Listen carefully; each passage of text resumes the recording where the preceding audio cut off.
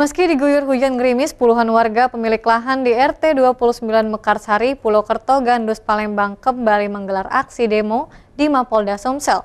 Sembari menangis, warga meminta keadilan agar polisi menghentikan dugaan penyerobotan lahan mereka.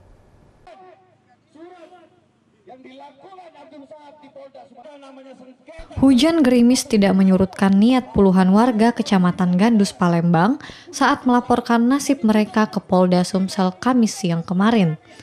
Sembari menangis, para warga ini menuntut keadilan kepada aparat kepolisian untuk menghentikan aktivitas dugaan penyerobotan lahan yang merusak lahan kebun karet milik warga di RT 29 Mekarsari, Kelurahan Pulau Kerto, Kecamatan Palembang. Warga mengatakan lahan yang mereka garap sejak 12 tahun lalu kini telah rata dengan tanah. Meski warga telah melapor kepada polisi sehingga tanah berstatus sengketa, namun aktivitas di lahan tersebut terus berlangsung. Di tanah itu Pak, saya usahakan sudah mulai tahun 92 Pak. Hmm. Tahun 2, namun pada bulan awal Agustus digusur Pak. Hampir separuh. Eh, saya rata dengan tanah Pak. Berapa lahan isi kita? 1,6 hektar Pak. 1,6 hektar. Itu di, ditanami apa? Ada jati, ada kayu sengon, ada rambutan, ada pohon bam Pak.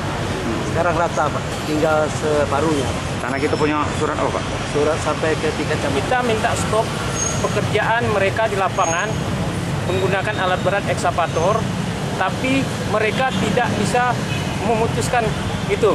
Kami sudah sampaikan ada surat himbauan dari Kapolres Tabes Palembang pada tanggal 6 Agustus untuk tidak melakukan aktivitas di lapangan.